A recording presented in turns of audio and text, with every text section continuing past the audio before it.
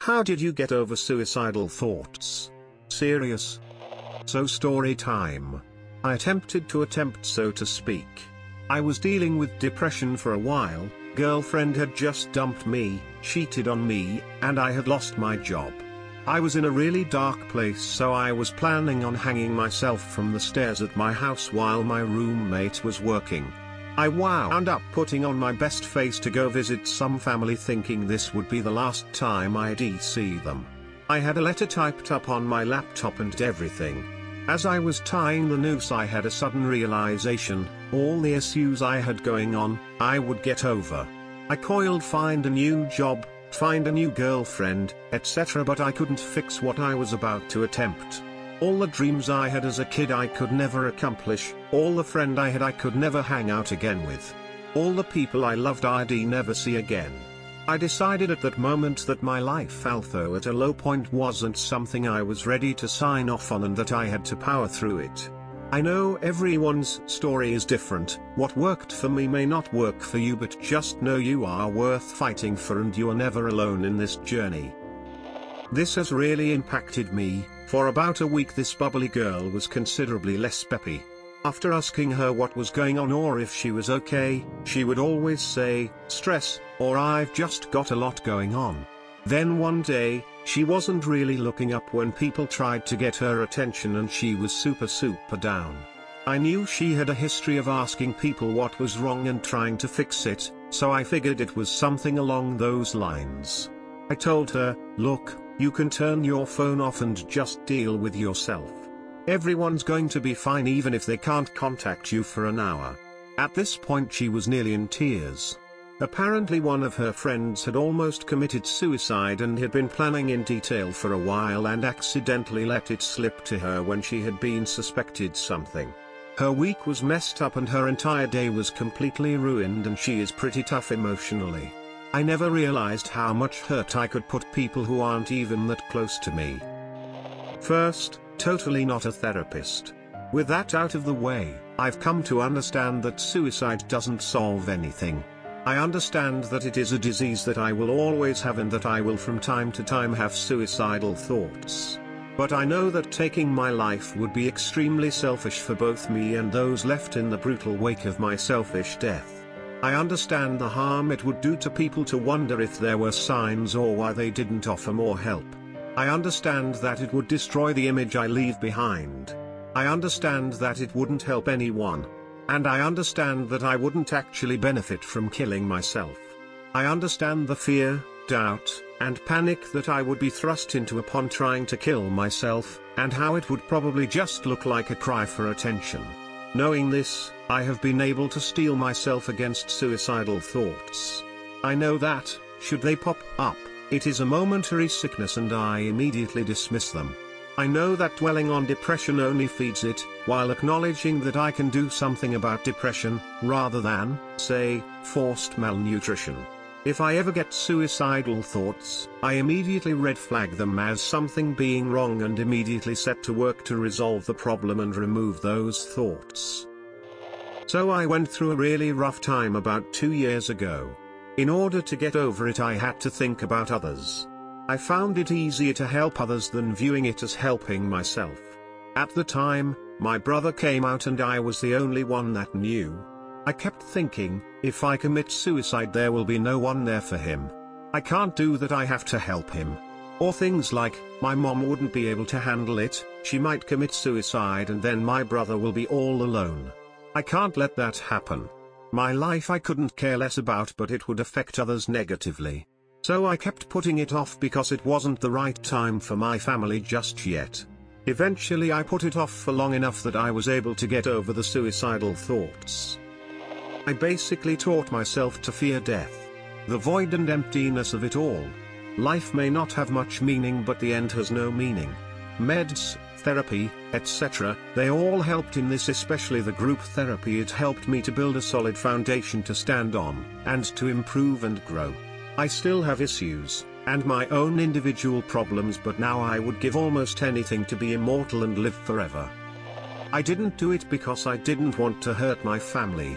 I'd been in therapy for a long time, but had just moved, so I was looking for a new one.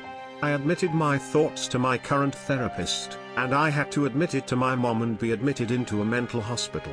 While it was probably the worst and scariest time of my life, I honestly wouldn't do anything different.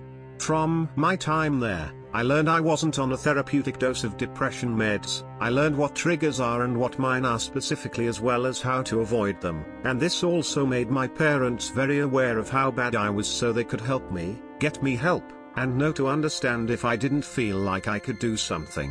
Afterwards, I persevered and worked hard with my therapist and am actually doing a million times better. He actually says I'm the client who has changed the most drastically for the better of all of his clients. I got myself out of the situation. Two years ago, I was living in the middle of nowhere, trying to make my marriage work. He had dragged me out of my hometown to his tiny hometown, acted like I was a burden, and was more interested in hanging out with his family than his wife. I couldn't find a job to make ends meet, and his money was going to whatever he wanted. His family hated me, and I wasn't making friends. I was so stressed, I kept having horrible migraines. I realized one day that I couldn't let my wings be clipped to make a relationship work. He agreed, and told me to move home. He was trying to find a girlfriend before I had even left. He moved her before the divorce papers were filed less than 90 days later. He married her in September. You just have to realize that at some point, things will change. Something gives eventually. Just one day at a time. I started smoking weed and trying not to take everything so serious. My rage and annoyance with the world slowly disappears after I get home from work and smoke a bowl. Sometimes I get high and just sit on the couch enjoying the silence. I didn't like the idea of whatever slash whoever was making me feel down to win. I wanted to deny them that. Listening to depressing music helped, or depressing stories, or movies.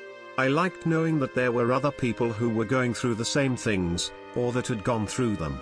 When depressed, the loneliness was the worst part. Time. There are few things in life that can't be fixed or made better.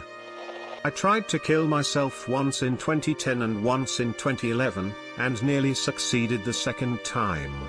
I did it because of severe chronic pain in my legs. I maintain that I was never clinically depressed, just miserable due to a horrible situation.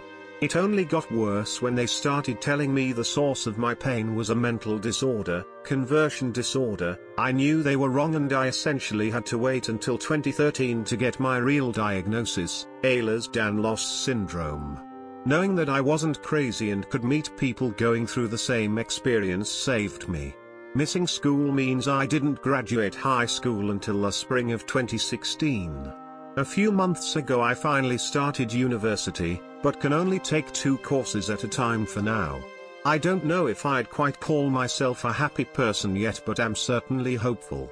There's no cure but I expect there to be one in about 30 years.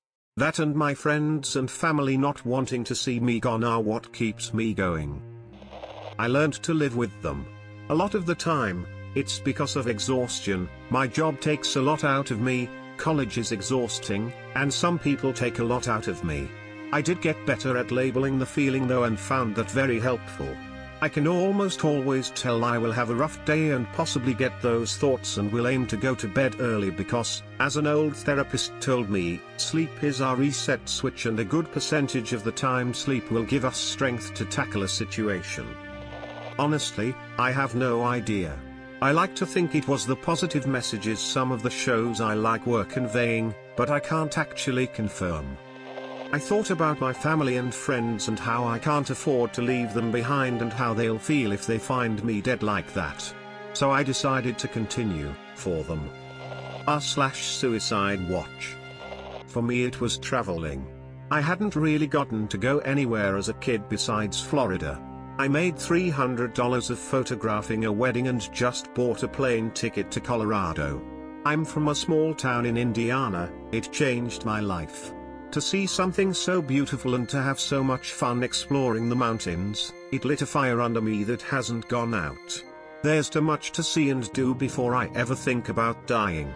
Also, I have a niece that I love so incredibly much that I couldn't bear breaking her heart.